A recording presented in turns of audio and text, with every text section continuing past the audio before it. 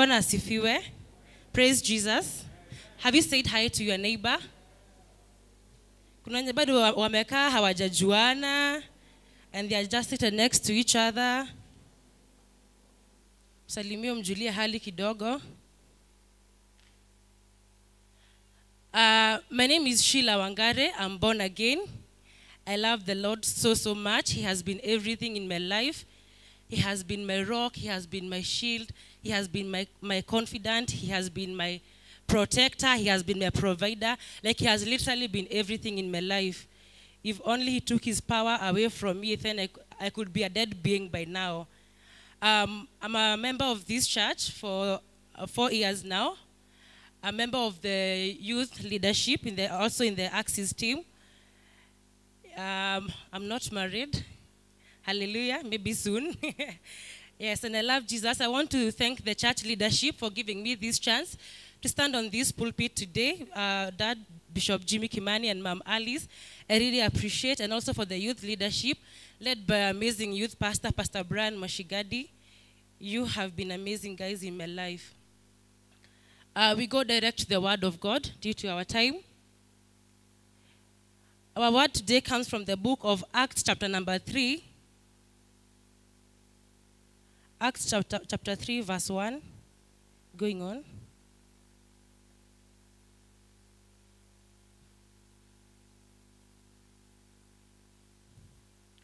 Uh, kindly give it to me in the NLT version.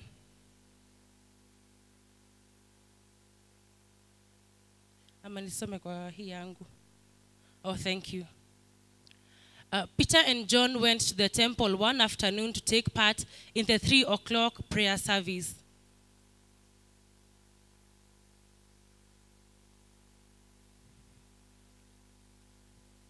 Peter and John went to the temple one afternoon to take uh, part in the three o'clock prayer service. As they approached in the, the temple, a man lame from birth was being carried in.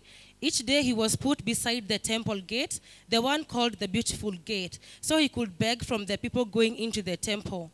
When he saw Peter and John about to enter, he asked them for some money. Peter and John looked at him intently, and Peter said, Look at us. The man looked at them eagerly, expecting some money. But Peter said, I don't have any silver or gold for you, but I'll give you what I have. In the name of Jesus Christ the Nazarene, get up and walk. Then Peter took the lame man by the right hand and helped him up. And as he did, as he did, the man's feet and ankles were instantly healed and strengthened. He jumped up, stood on his feet, and began to walk. Then, walking, leaping, and praising God, he went into, into the temple with them. All the people saw him walking and heard him praising God. When they realized that he was the lame beggar they had seen so often at the beautiful gate, they were absolutely astounded. They all rushed out in amazement to Solomon's colonnade, where the man was holding tightly to Peter and John. Peter saw his opportunity and addressed the crowd, and then it goes on with Peter's speech. Uh, this is a time when Peter and John were going in for the, for the three o'clock service at the temple. And when they were going on, they, they, uh, uh, as the, walikuwa wanaingia ndani, they, they came a, a, across a man. And that man was being, alikuwa anaingizwa pia at the temple gate where he used to borrow from Hawa to a church and ask for them for money, ask, ask them maybe for food and ask them for all those things. And this man was going in and Peter and John were coming, were still coming in. And when I was going through this verse, I was thinking, why is it that this man was brought into this gate at that particular moment? Why is this man, oh, uh, how comes that this man was brought into that gate exactly at the same moment when Peter and John were getting into the temple? And I realized one thing. Now, Peter and John right now rep- rep- represent Jesus in our lives. This man knew how to align himself with the calendar of Peter and John. This man knew how knew what exact time that Peter and John were going to come into the temple for the three o'clock prayer service. And this man was lame from this man alikuwa lame from birth. He did not know how to walk. He did not know how walking on his two feet looked like. He did not know how uh, what exactly he was supposed how exactly he was supposed to, to walk. The only thing that he knew maybe was borrowing cash from people. The only thing that he knew maybe was just asking for things from people. And he knew exactly where he could get his help. He knew that if only I met Peter and John at this temple gate, that, that is the place that I'm going to, to, to get this help. And this beggar thought that it was just another day for him. Unajua alikuwa amezoea every day at 3 o'clock, he goes at the temple gate, anaomba pesa and he's given. Every day at 3 o'clock, he goes at the temple gate, he asks for, good, for food and someone gives him. And when he was waking up on this particular morning, I can imagine, alikuwa anaamka and saying that this, maybe this is the same day that nimekuwa tu nikienda. It is just a, an ordinary day for me. It is the day that I'm going to ask for cash and I'm going to be given by everyone. It is the day that I'm going to ask for food and I'm going to be given by everyone. And he could easily get, get that because he had already become an expert at it. He knew the vocabulary of asking for this cash. He knew, for the, he knew the, voca- the vocabulary for asking for this food. And this man, all that he needed was not money. This man needed something more greater than money. And this man, he thought that he could be maybe angekuwa a- analay on that mat forever alikuwa anaketi at that beautiful gate maybe he thought that all that he needed on this particular day was food but before even he woke up in the morning god had a different agenda for him before he woke up this morning god had a different way for him before he woke up this morning, God had a different assignment for Peter and John at that beautiful gate. Before he woke up this morning, God knew that you need money, but I'm going to give you something that is more greater than money. This morning, he, that morning, that man thought that I am going to go and sit there at the mat as I, I am used to and ask for cash. But Jesus knew that you are going to sit down on that mat and I'm going to give you something that is more greater, something that is more precious than money, and I'm going to give you life, and I'm going to give that uh, you, you that life in abundance. But the truth is, money is not all that he needed. He needed something more greater than money. He needed a provider with him. He needed to have a protector with him. He needed a shield. He needed a savior with him. He needed to have a relationship with God. Because one thing that I believe, he says that uh, he- he's going to, he has given us everything that pertains to life and godliness. So the moment that you have Jesus in you, you have everything that pertains to life. And, and life includes food, Life includes money. Life includes everything that you want. And the moment that that, that man sat on that mat, he expected cash. But Jesus had a different um, had a different agenda for him. And maybe someone in this uh, under my voice today is listening to me, and you came to church with a, with a certain agenda. Ulikuwa una expect God to afanye something in your life. But I've come to tell you that God is going to do that for you, but He's also going to supersede your expectations in Jesus' name. He's going to do much more greater than you expected to be done in this place. He is going to be your protector. He is going to be your shield. He is going to be your savior. He is going to make your marriage work. He is going to make that job prosper. He is going to make your business prosper in the name of Jesus. This was the day that this layman was going to meet with God. It was the day that God was going to change his history. He asked for the he asked for money and see what Peter and John tell him. Peter, Peter and John wanamwambia that look at us. In verse 4, Peter and John looked at him intently, and Peter said, Look at us. The layman looked at them eagerly, expecting some money. Look at us. And the layman looked at them eagerly, expecting some money. And if only this man knew that what God had in store for him on that particular day, if only God, if only this lame man knew what God, God had planned for him in the morning that particular day, he could have asked, asked something, he could have expected something much more than money.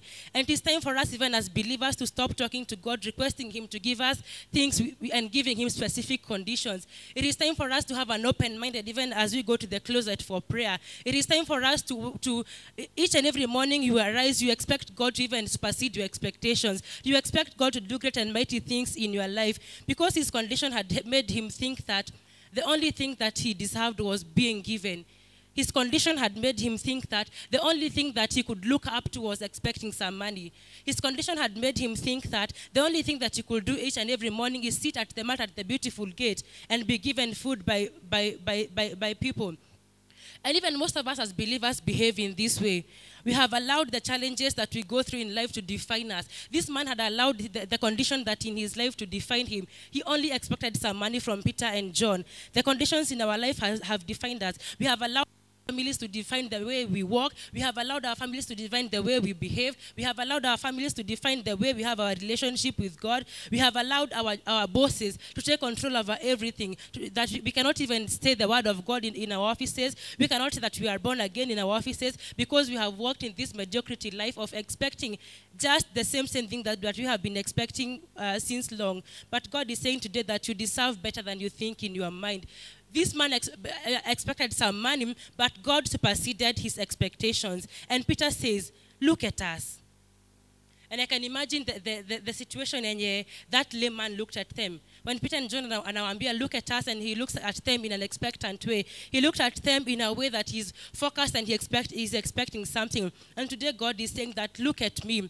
There are times when sometimes we try to keep our way, our eyes focused on other things. But today God is saying that, look at me because I may not have... Um, I'm going to supersede the expectation that you have for, for, for your own life. And Peter is saying that, look at us. And there are times that when we go into our lives, we keep our eyes um, maybe focused on the things of this world. We keep our eyes focused on what we are going to get. We keep our eyes focused on our pre- on our friends. We keep our eyes focused on the things of this world. But God is saying today that there are times that we need to just focus on me alone. the moment you have me, you have everything. Forget forget the condition that you have been working with. Forget the condition that people had referred you to, because this man had already known that he's a beggar, and everyone had termed him as a beggar. Forget that condition.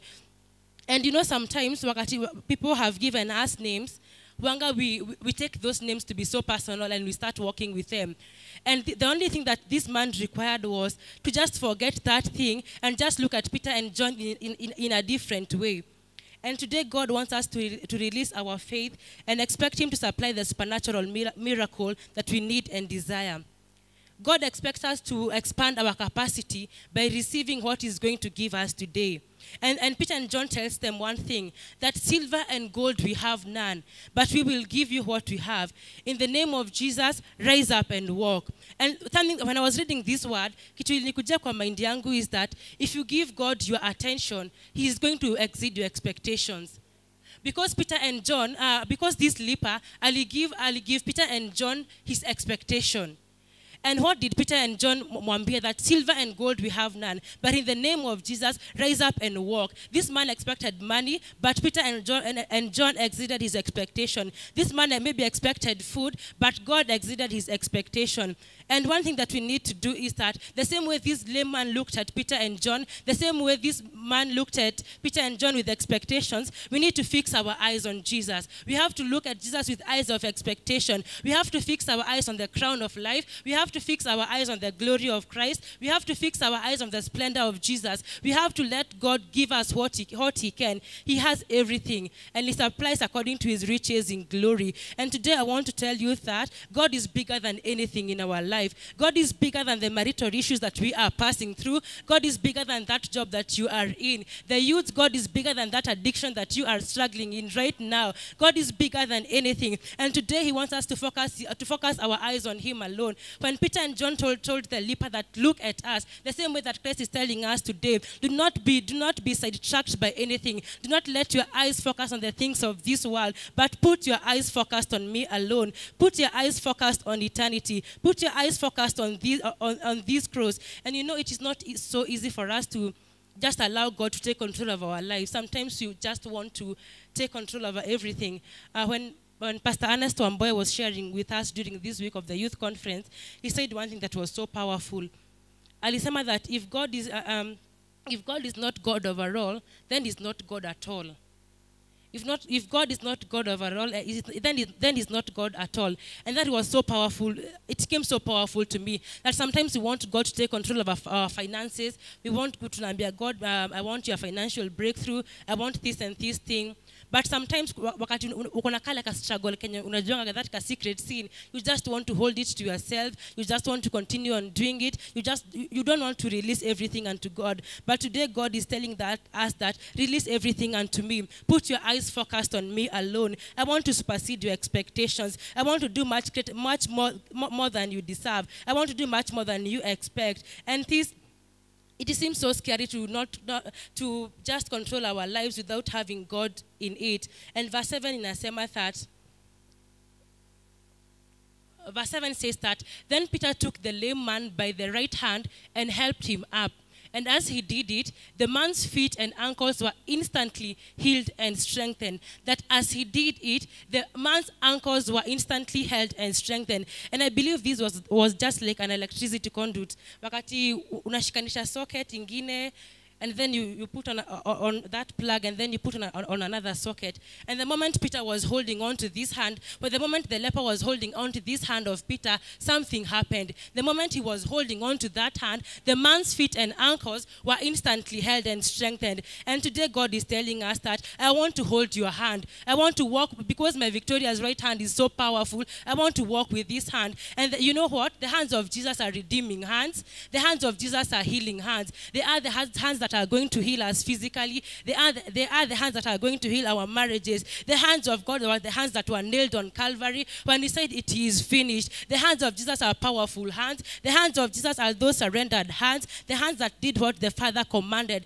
The hands of Jesus are protective hands. In Him we can find no harm. The hands of Jesus are generous hands. They are hands that only give. The hands of Jesus are beautiful hands. They are the hands that, that, that can only give us everything that pertains to life and godliness. And today I want to encourage you that keep on connecting with God.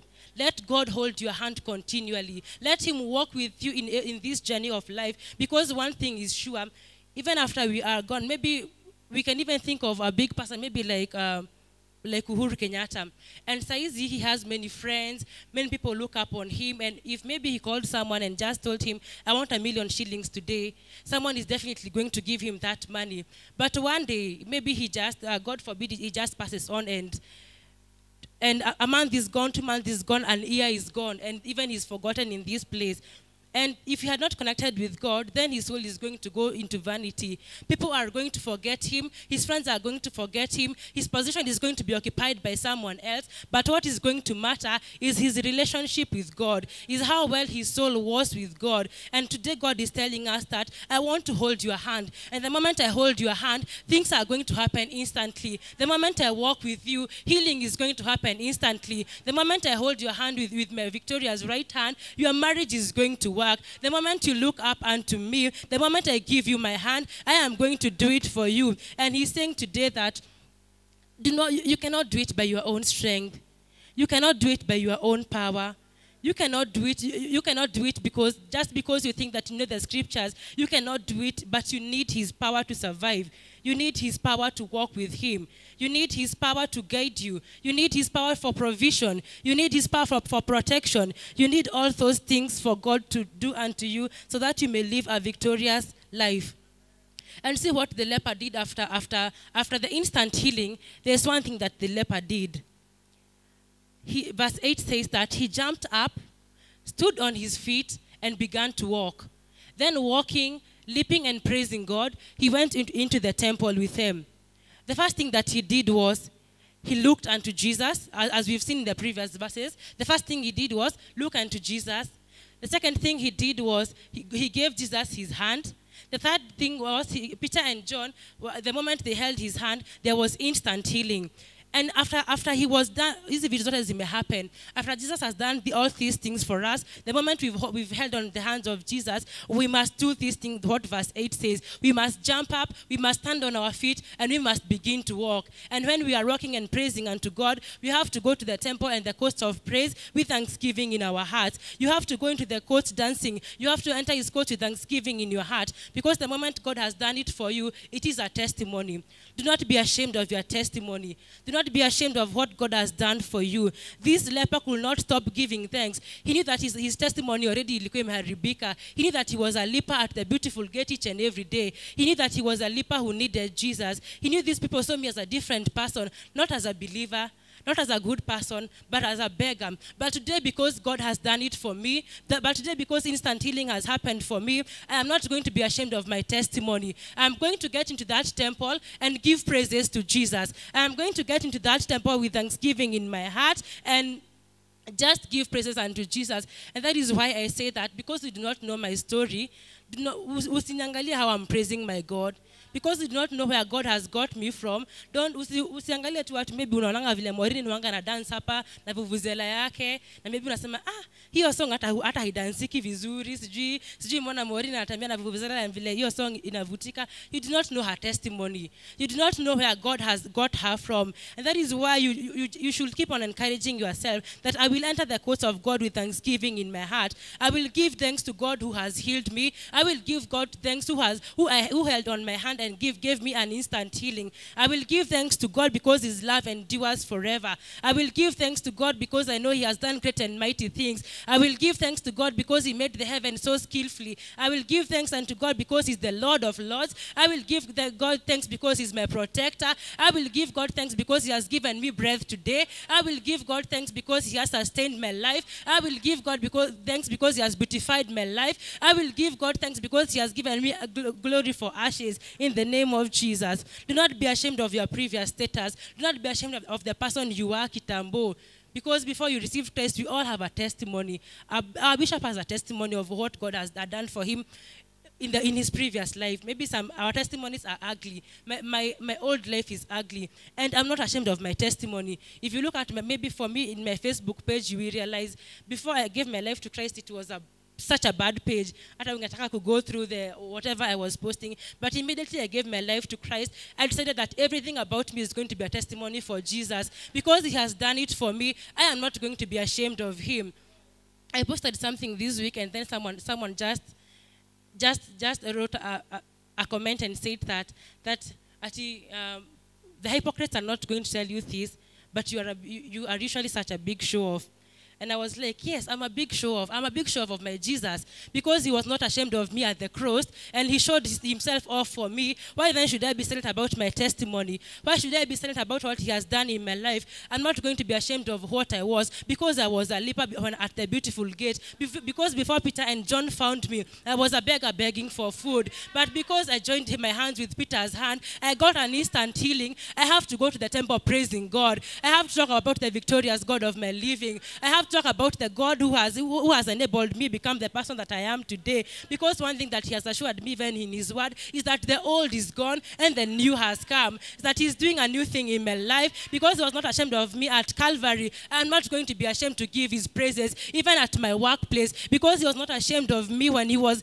nailing from the east to the west. I'm not going to be ashamed of Him to tell my workmates that I love Jesus. I'm not going to be ashamed to tell my my, my, my, my even my boss that I am born again. So you have to walk in, in that in, in, in that same testimony today that you're not going to be ashamed of what uh, God has done for you. That regardless of what the name that people had given you, regardless of people calling you barren, whatever it is that the people had called you, today God is giving each and every one of, of us a new name and He's doing a new thing upon our lives. The old has gone and the new has come in the name of Jesus. And see what the people do. In verse 9,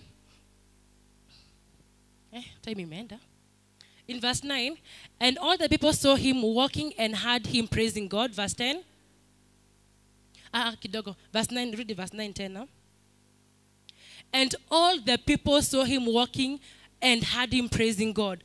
Mark the word all the people. See the few people. All the people in the temple saw him walking and heard him praising god. And i can imagine maybe kuna mtu amekaa pale maybe mwashia kuna kona yake hapa kwa temple yake pale kwa temple and everyone else is scattered in the temple.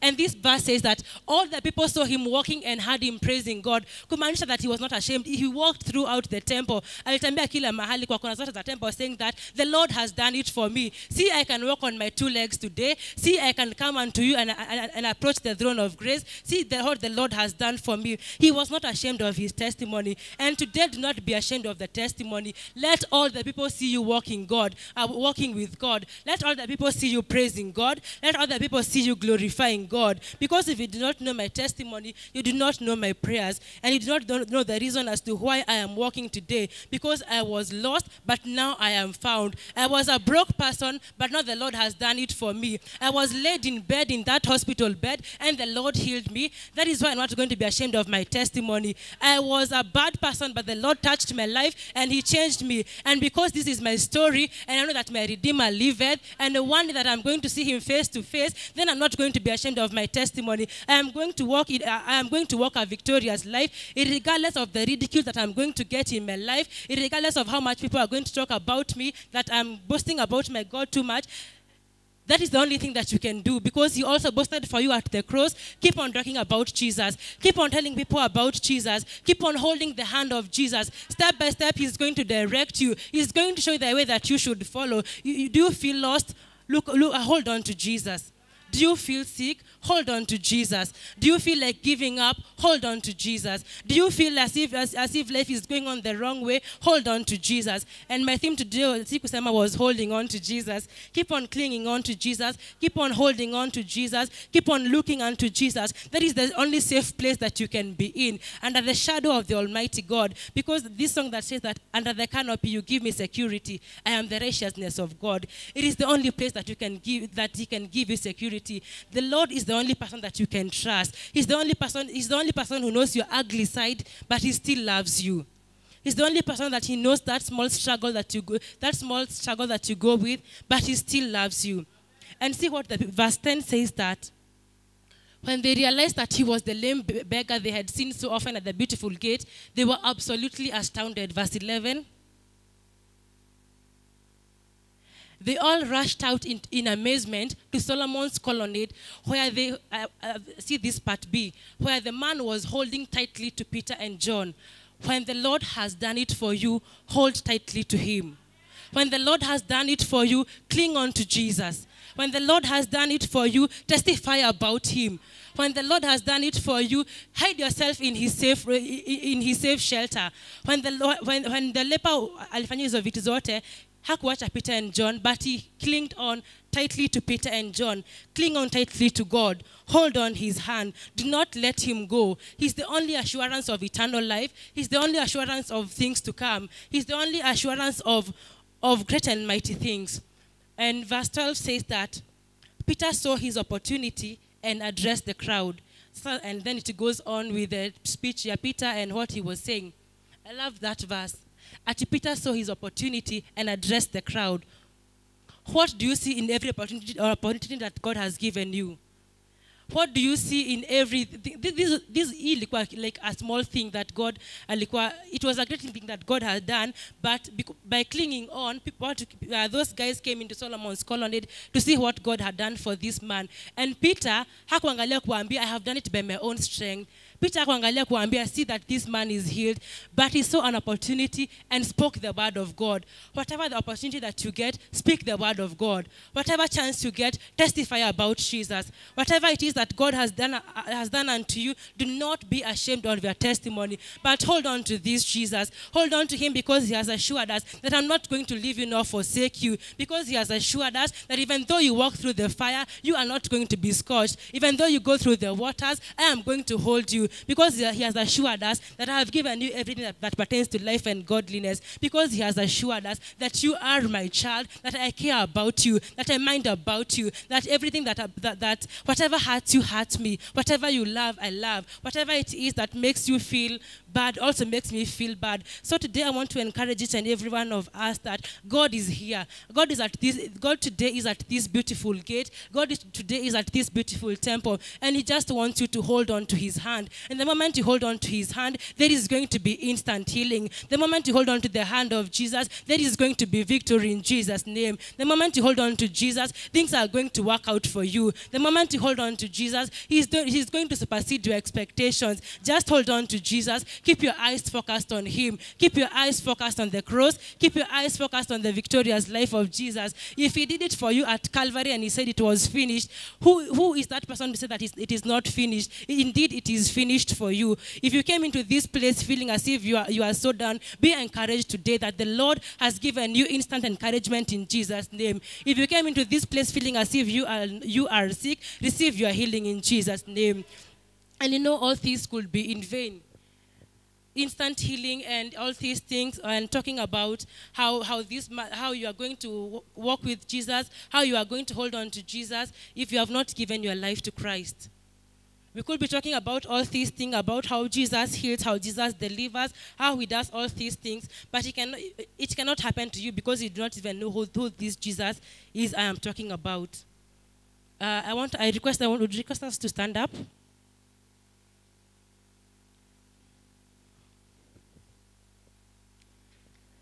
And if you are in this place and you haven't given your life to Christ, you have heard today's word that God, is, God desires to hold us with his victorious right hand, that God wants us to have instant things. He wants us to have instant healing. And maybe you, you could have had it in your heart and said that, I think today is my, life to, is my day to give my life to Christ. And maybe you feel as if bado that thing that is pushing me away, that thing that, that is telling me maybe it is not time. And today I am here to tell you that it is time for you to give your life to Christ. Are you in this place and you haven't given your life to Christ and you would like to give your life to Christ? Are you in this place and maybe you have always desired to have a personal relationship with God and you haven't found Him yet? The Lord is in this place. The Lord is in this place to heal. He is in this place to save. He is in this place to deliver. He is in this place to set free. Are you in this place and you want to give your life to Christ? Okay, everyone, just go before the Lord and tell Him what it is that you desire. Tell Him what it is that you have wanted for all this time. Because the Lord is at this beautiful gate today. He wants you to hold on to His hand, and He's going to do instant things in your life. He wants you to hold on to His hand, and He is going to heal your marriage. He wants you to hold on to His hand, and He's going to do great and mighty things. He wants you to hold on to His hand, and He's going to supersede your expectation. Tell Him what it is that you want Him to do for you today, because the power and the presence of God is in this place. Hallelujah, hallelujah, Jesus. Thank you, Jesus. Thank you, Holy Spirit of God, because you have reminded us today that today you are at this beautiful gate. You are in this gate to do great and mighty things, Jehovah. You are in this place to come and save, my God. You are in this place to come and deliver in the name of Jesus. That, Lord, you are doing a new thing upon our lives, Jehovah, King of glory. We pray that, Jehovah, God, whatever it is that our hearts desires, that you are going to come and supersede our expectations in Jesus' name. That you are going to come and exceed what it is that we expect in the mighty name name of Jesus, that you are going to do great and mighty things upon our lives, Jehovah, that we are not going to be ashamed of our testimony. We are not going to be ashamed to talk about you, my God. We are not going to be ashamed to tell people what, you, are, you what it is that you have done into our lives, that we are going to enter your court with thanksgiving in our hearts. We are going to enter your court with confidence, knowing that it is only you who can do it for us, Jehovah. Thank you, Jesus. Thank you, Jesus. Thank you, Jesus. And Lord, that is the confession of our hearts today that indeed we cannot make it without your power, Lord. We need you to hold our hands for us to survive, Redeemer, King of glory. How we desire that we are going to cling onto those everlasting arms, those arms that can never let us down, Holy Spirit of God. And today, this morning, you have told us to look unto you, the author and finisher of our faith, Redeemer, King of glory. And our eyes are focused on you alone, Jehovah. And the same thing that Peter and John did to that leper, when he looked at them and, and, and he held his hand, there was instant healing, there was instant deliverance, Jehovah God. And that is the portion of your brethren today in the mighty name of Jesus. And this is the portion of your children today, Redeemer God, that because they have fixed your eye, their eyes on you alone, you are coming to supersede the expectations in Jesus' name. Because your word has reminded me the expectations of the righteous shall never be cut off, Jehovah. And it is not going to start with them today, Jehovah. You are going to do great and mighty things upon their lives as they hold on to your hand, oh God. You are going to direct them. You are going to direct them with your word, your word that is lamp unto their feet and light unto their path, Jehovah, King of glory. You are going to walk with them even in this week, Jehovah. They are not going to be afraid of their testimony. They are going to speak of what they you have done, and they are going to enter your court with thanksgiving in their hearts. We love you, Jehovah, King of glory, because we believe you have done it, and it cannot be otherwise. For this we pray, believing and trusting in Jesus' name. Amen. God bless you.